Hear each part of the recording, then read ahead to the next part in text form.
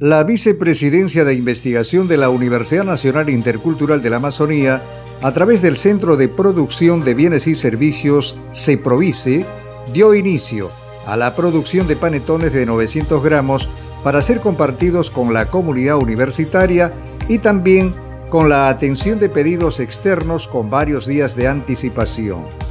Los responsables de la elaboración de los panetones, tomando en cuenta los procesos de esponje, fermentación y horneado son egresados de la UNIA, de la carrera de Ingeniería Agroindustrial.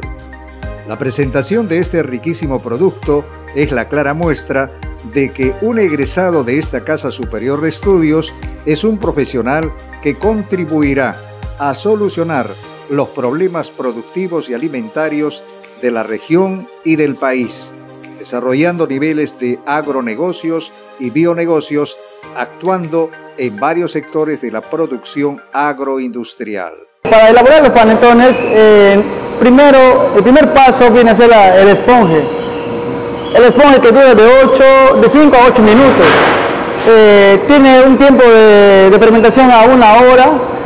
¿Para qué? Para hacer la segunda parte. La segunda parte ya viene a ser ya, eh, como lo llaman también, el refuerzo, eh, que equivale de 15 a 17 minutos el, acabado.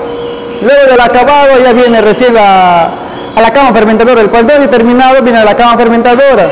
Después de la cámara fermentadora, equivale a dos horas a dos horas y media para que entre al horno.